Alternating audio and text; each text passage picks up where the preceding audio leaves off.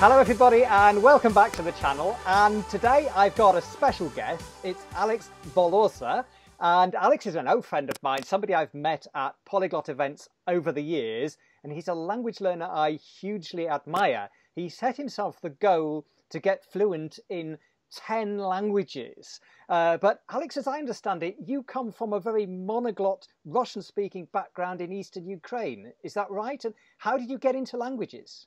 Hi, Gareth. It's it's great to be on, on, on the project. Great to be here, and kudos for pronouncing my last name right.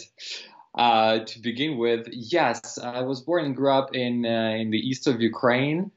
Uh, many Ukrainians, most Ukrainians actually bilinguals, right? So they understand at least Ukrainian and Russian.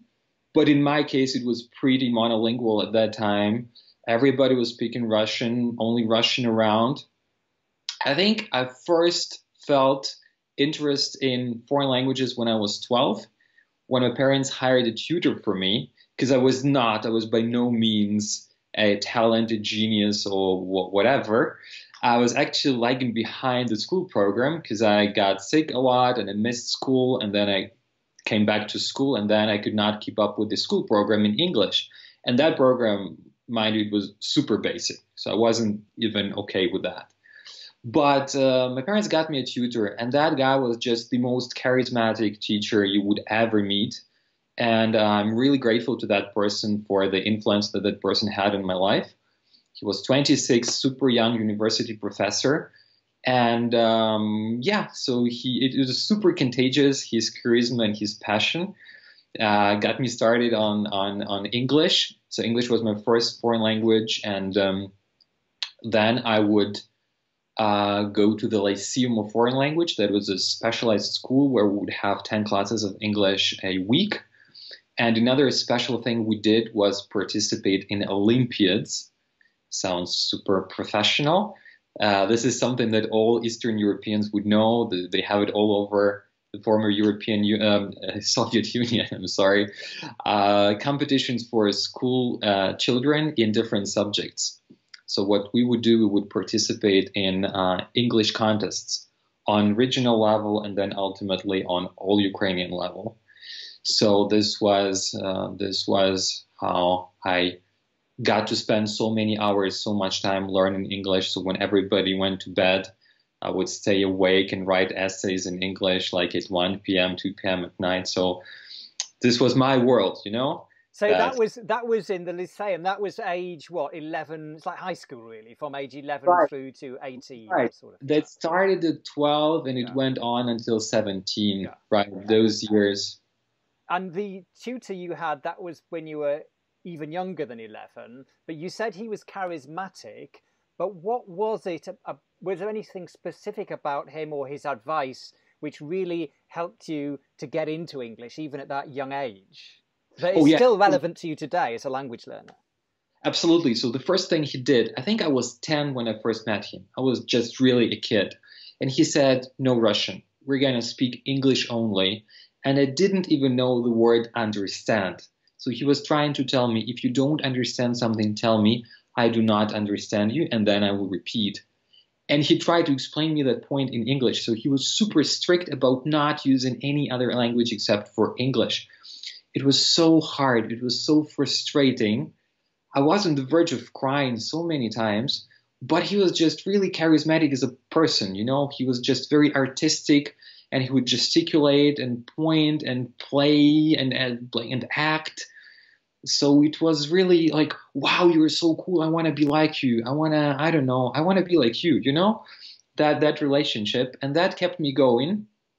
And then after a couple of months, I caught up after a month. I would I would caught, catch up with the program. A couple of months later, it was the best one in class, and then we kept working, and then we were sort of far away from anybody else, from my peers.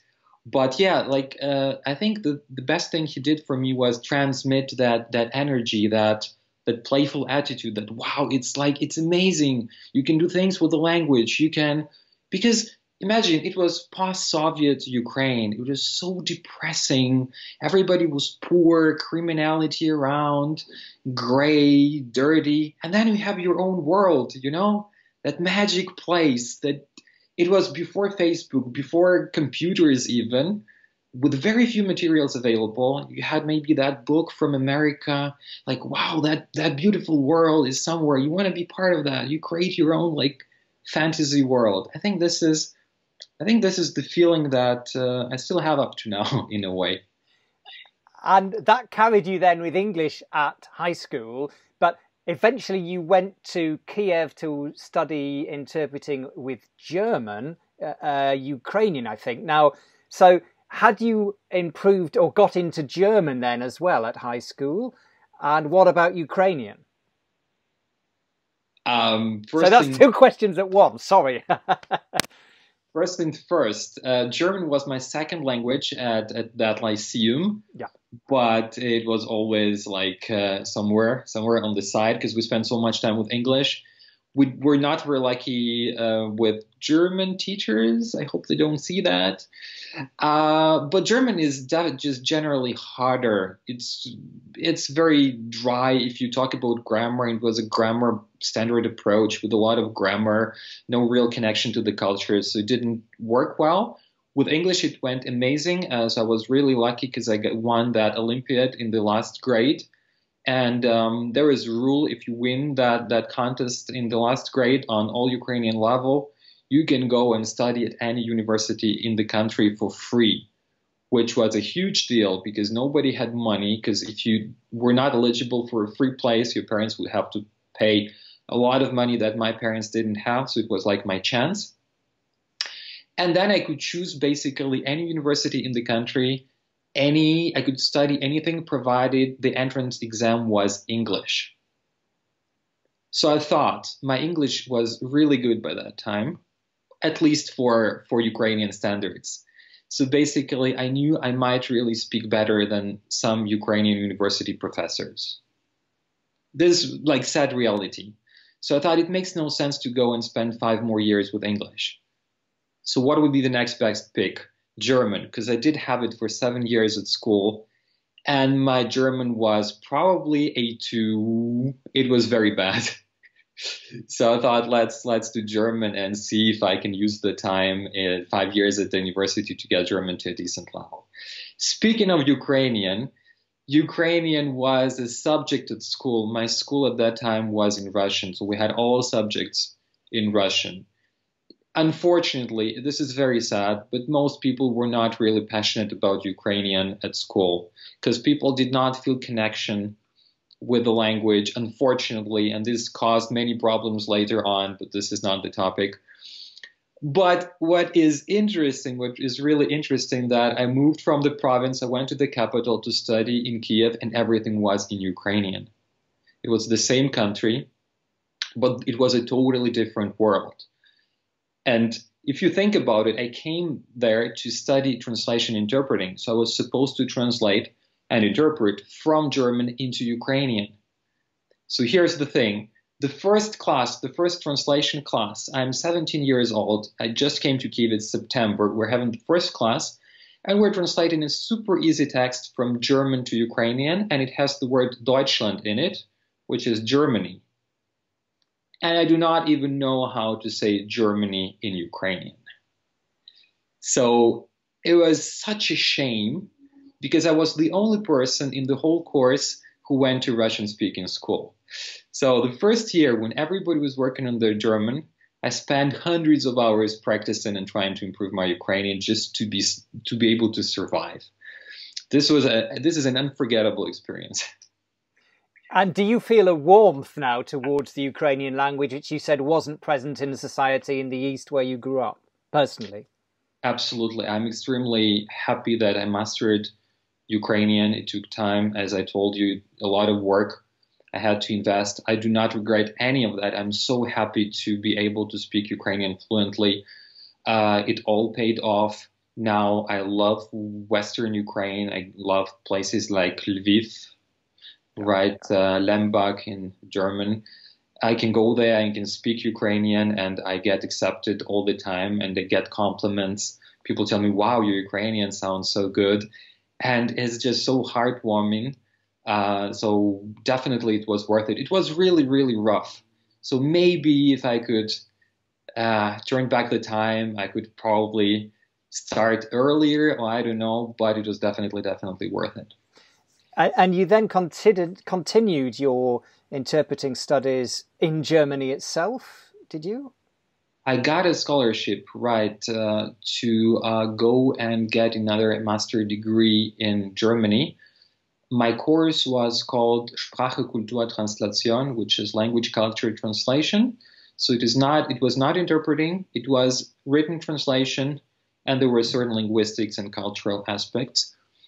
Uh, that was another very interesting experience, just uh, being 21, coming from Eastern Europe to, to Germany uh, there is a, quite a culture shock actually. And um, I came to Germany, and even before I came to study, I uh, took a C2 German exam, and I passed it with the highest grade, which means officially my German was extremely good. But practically, just being in a new country, in the province where people speak a dialect, it was quite a challenge. So it took me a long time to adjust, to be accepted in a new culture. So this was really hard. I just want to maybe make a point that if you do it the first time, it is extremely hard. And many people come to a new country. Millions of people nowadays move between countries looking for a living, for a better life, and they come without a language. So I can only try to imagine how hard that can be. And I came with sort of C2, and I suffered a lot to be accepted with my C2 German. So where very, were you? Which province were you in in Germany?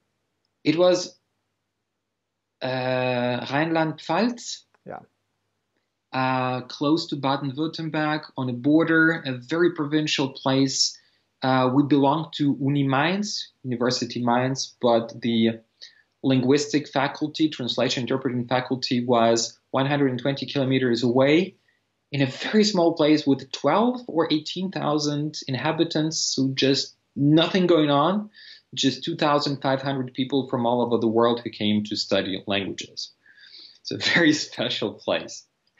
And after you finished that second uh, degree, did you work as a translator then? When did you get into teaching as well? many years later. Unfortunately, I should have started earlier. Uh, for people who come from non European Union countries, uh, the main goal is just to stay, to find a way to find a job, because if they don't find a job pretty soon after they uh, graduate, they have to go back home. So I had I accepted a job that um, was a project manager in a translation department. So it sort of had to do with languages, but not really. So German was enough and some English. Um, the the thing with languages came unfortunately many years later, three years, three years before, three years ago. Um, the thing is that I was doing that job that I was not very happy about. Uh, so, but I, I, was thinking, what do I want to do in life? How can I live that that interest, that passion for languages? And I think I was 24 when I came up with the idea that I want to be a polyglot, I want to speak 10 languages. I had that idea for the first time. I think it was probably eight or nine years ago. And I started Googling. I Googled 10 languages, people who speak 10 languages. I wanted to know if there is anybody already who does that. Unfortunately, or I don't know, fortunately, I found some. Benny Lewis was already there, and maybe Steve Kaufmann, Luca Lampariello and Richard Simcott. So I think I found those four yeah, people at yeah. that point. So I was sort of sad because I wouldn't be the first one because I had those, you know, those ambitions. But then I, very quickly I realized, wow, that's amazing. First of all, if those people exist, it means it's possible. If they could do it, maybe I have a chance. And they do videos. They're very generous in sharing advice. So maybe I can just learn from them and try to pick up as much as possible and like improve my own skills and strategies and philosophy. And this is what I did, and I learned a lot from those people, especially I would say from Steve Kaufmann. And would that be the emphasis then that you put on comprehensible input and getting a lot of exposure through reading and reading and listening to a language as early as possible? 100%. I think um, Steve Kaufmann did a series probably 10 years ago, Seven Secrets of Successful Language Learning. And uh, I think few people know these videos, but they really impressed me. They really stuck with me at that time. And I thought, this actually, this is actually true. I've been doing that subconsciously myself even before that because I was playing around with learning Polish a bit, learning French a bit by myself. Uh, this was the time probably before Facebook, so many of the things were not available. But the idea of just getting exposure, learning, um, reading a lot, listening to a lot of stuff, uh, being motivated, not trying not to depend on others, just being an independent learner, right? I can, I believe that I can learn a language myself, and I don't need anybody to to guide me. This is this is these are the things he was talking about, and I thought, wow, that makes sense. I just need. I remember what helped me a lot was uh, listening, because he spoke a lot about how important it is to listen, and I realized I'm not listening enough, and I had had some trouble with understanding when I was listening languages, and I realized, well I just don't listen enough. I have to listen probably three times more. And I started doing that, and probably in a month, I already saw, wow, now is my strongest aspect. So it works.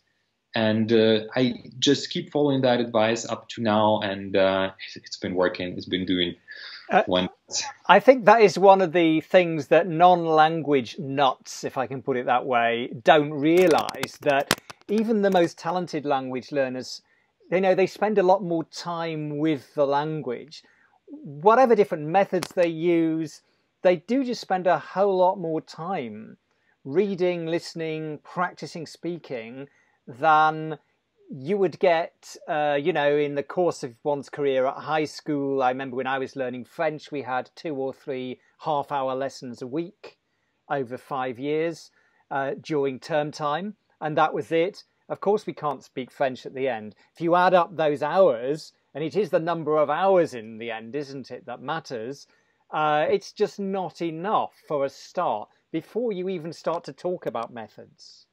Absolutely. And that's why it helps you if you get motivated, if you get passionate.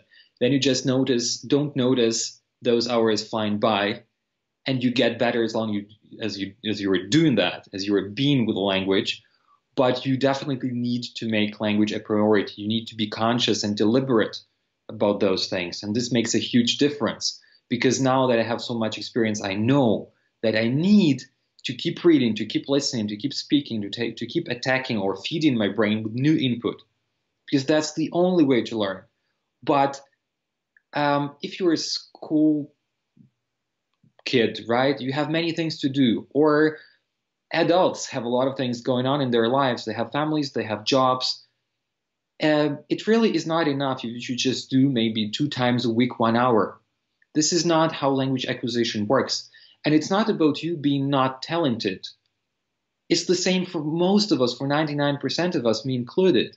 It's just not possible. If you do it two times a week for one hour and then you don't find time during the week to listen, read, and be conscious about it, you're not going to grow. Now, when you're starting off, it's all right talking about I just start listening, I just start reading. And, you know, granted, you're going to start with simplified materials for learners, perhaps, I don't know. Uh, but at the very beginning, the first weeks or the first months, I don't know, would you work with a textbook or just with dictionaries? Or how do the early stages look to you? And have those very early stages, the first few months, has that changed as you've gone through all these different languages over the last 10 years? Absolutely. Uh, it helps if you know a language, a couple of languages from the same language group. It makes things so much easier. If I were to learn Romanian now, it would be so much easier. I would just take a textbook and I would understand probably 60, 70%. But when I was starting Hebrew, a totally different language, it was a lot harder, a lot more challenging for many reasons. But yes, if it's a language which I can read, which uses probably Latin letters or Cyrillic letters, this is pretty straightforward because I can take a book and I can actually read the text from day one. So I would take those textbooks, I would find an audio, I would try to listen and read at the same time, the same content. Content. So I would get audio information, visual information, right? at the same time, and I would try to leap through the book as fast as possible, picking up letters, picking up uh, new words. Sorry, because I think uh, it's really great to work with textbooks because they're built for you. They progressively introduce new vocabulary, and this is exactly what we need because we're not ready yet, right? Because we need that base. We need those two, three thousand words, at least a thousand words, right? And the books, uh, the textbooks are amazing for that because they build up on what was in the previous chapter. So use that, apply that. And this is what I would definitely do. Try to learn more words as soon as possible. And then when I feel I have that understanding, I have that vocabulary, I would try to go on YouTube. I would try to start with short videos, something super short, something super easy. Nowadays, it's so easy. You can activate automatic subtitles, right? Because most of the content that is appearing now has automatic subtitles. So do that. If you don't understand something, press pause, open a dictionary, Google Translate, and start working your way through. At the beginning, it's extremely hard, but it's normal. It's just the way it works. So just deal with it. If you're tired, go rest, do something else, and then come back. Start with sh- super short videos. They're always funny videos, like three, four minutes subtitled. Um, sometimes there are subtitles in your language you can use that too. So work, start working your way from the textbooks on to original content. And um, so you had this goal about 10 years ago now to do 10 languages. Some of those you'd already, so you'd already got Russian, Ukrainian, uh, German, and right. you have then built out from those three uh, how did your life look though? Because you've done a lot of traveling, I know. Did you move countries each time to the, a country where the language was spoken? Which languages were they? Uh, and how did you pay for all this? Oh, yeah. So basically, as I told you, for many years, unfortunately, I had a super boring job, office job. So, but I already had that idea that I wanted to speak 10 languages fluently. So I would use all the time available in the office and at home. I would learn languages.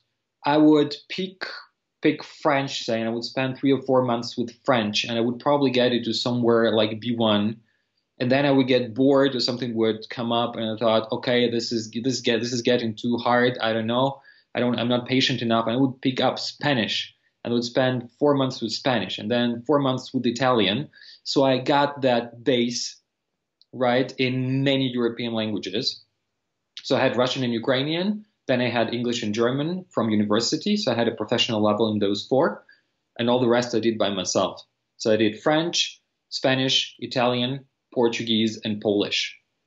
And I had those languages, I had probably somewhere between B1 and B2 um, in all of those languages. So when I changed my lifestyle, when I quit that work and I started traveling, I already had a solid base.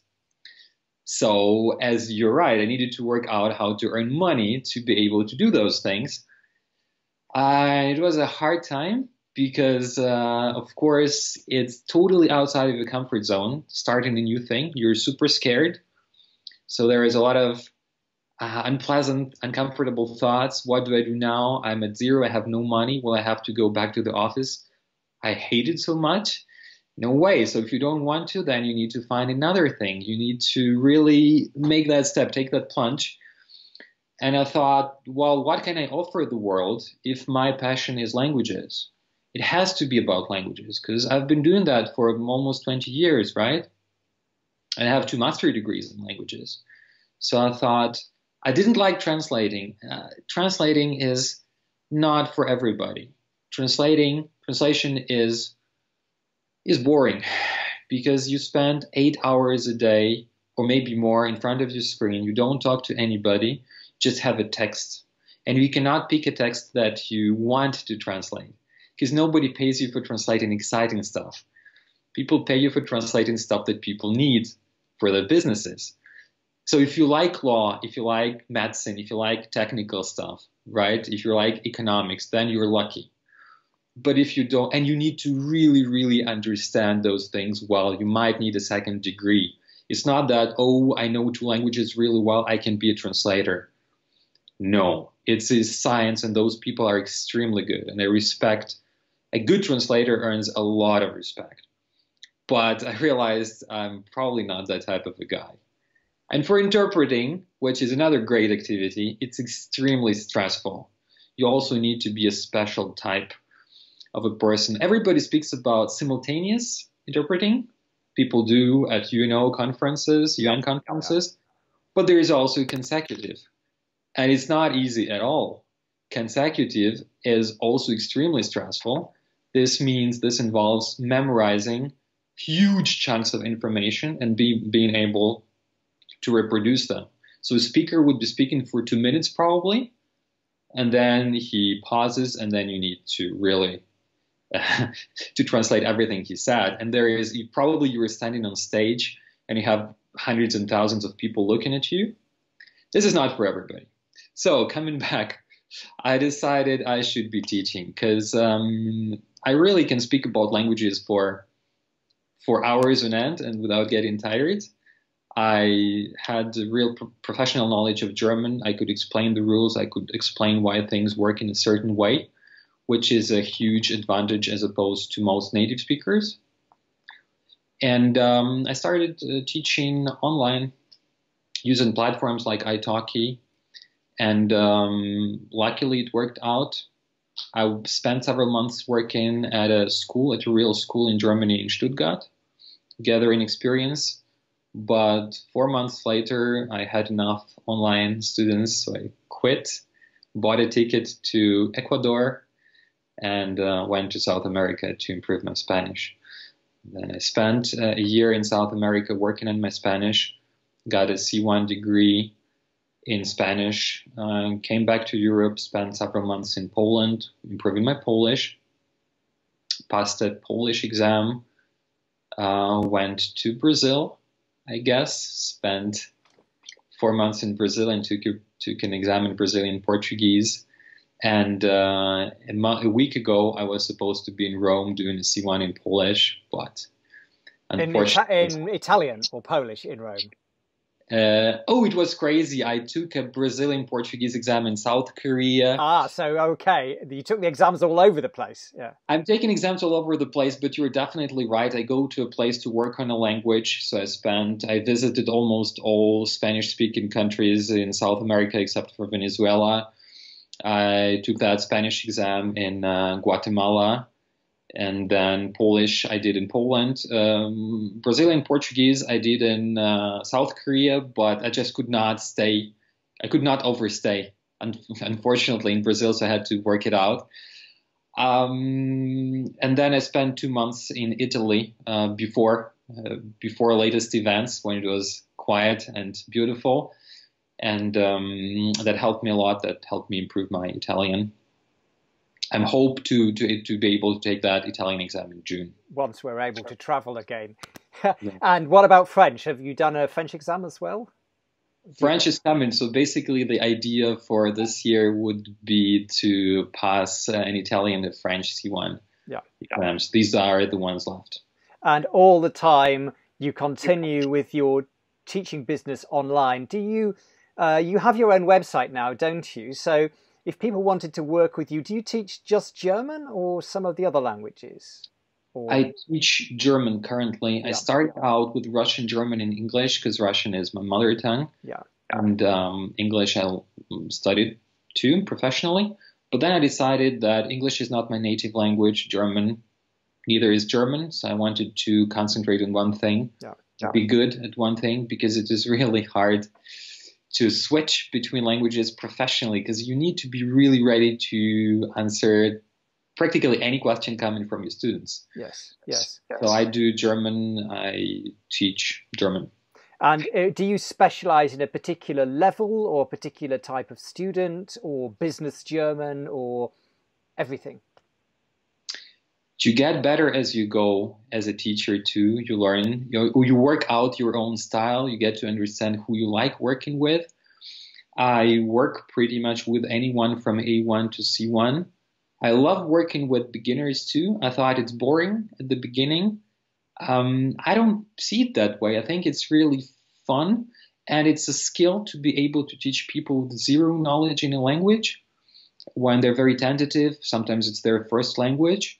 You just need to you need to be a really good psychologist. You need to feel a person to have a lot of empathy uh, because you know I feel like a bit of responsibility because if I'm impatient or if I'm if a person you know stops working with me if a person isn't happy maybe they will never come back and will just not believe in themselves so it's very important to uh, to give that to give that feeling that you can do it you can do it I've done it my students do it everybody does it you can do it too yeah. so if the yeah. people if people stay if they go beyond that phase as a beginner because in Germany it's tricky it, it, it gets hard pretty much from the beginning as opposed to Spanish or Italian.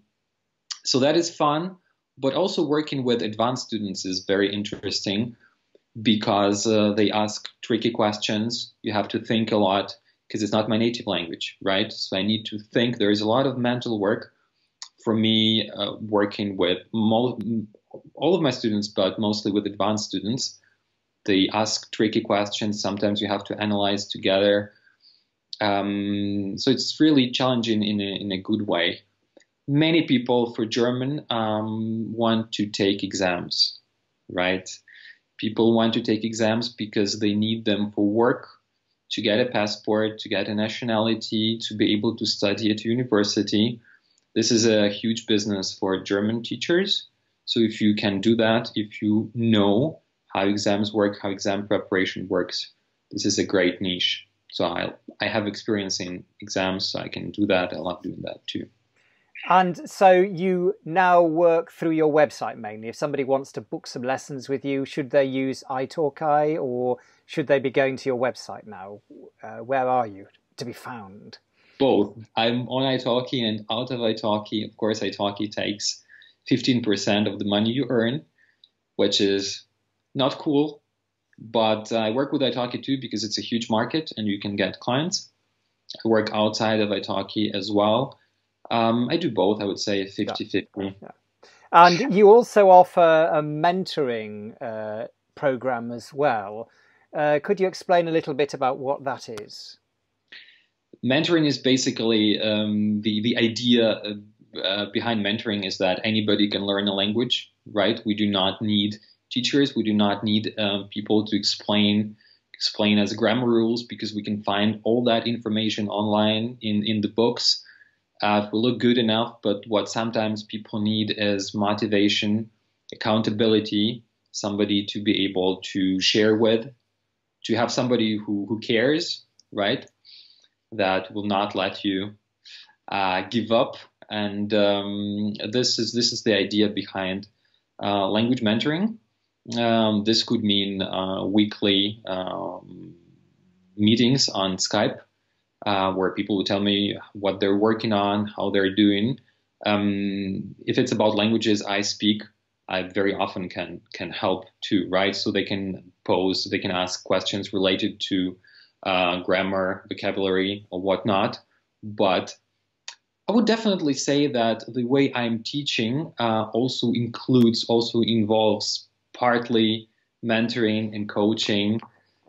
It's not just the teaching. It's not like the teacher you know from the 80s or I don't know, the guy who comes and tells these are the rules, please learn until next time. No, it never is. Now, if you want to be a good a good teacher or coach or mentor, you need to do all of those things.